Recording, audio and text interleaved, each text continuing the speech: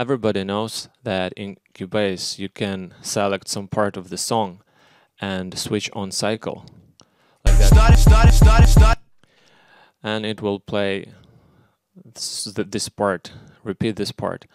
But also you can reverse left and uh, right locators like that. And if cycle mode is on, it will skip this part. You can use this for cutting some part of the song.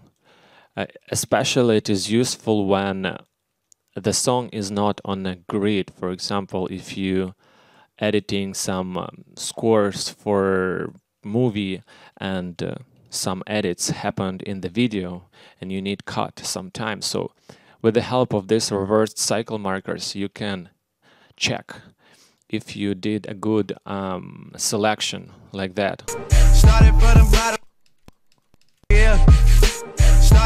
And uh, so I can hear that I chose good places for cutting and uh, now I can click right button and exchange left and right position. And then I use edit, uh, range, cut time. So now we can see that I have deleted a part of the song and uh, in the whole project, which is pretty convenient.